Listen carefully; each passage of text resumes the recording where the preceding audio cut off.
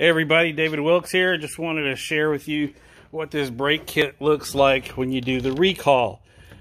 It just plugs right in, very super simple. Um, you can get it at a Ford dealership. It even has a little stuff right here that's important about it. The part number, this is the factory replacement that you get with the recall. It's my intention to put the Hydro Boost system on it. Get rid of the brake booster, literally pull this engine, and put something more stout in this truck. This truck is super clean, no rust, no BS. It's it's just too nice. Um, I actually have a complete brand new front end for this. This was a police seizure, but it is such a low mileage. I mean, when you ever see a Bronco that doesn't have the seats all ripped up and the dash all cracked, um, it's a great truck.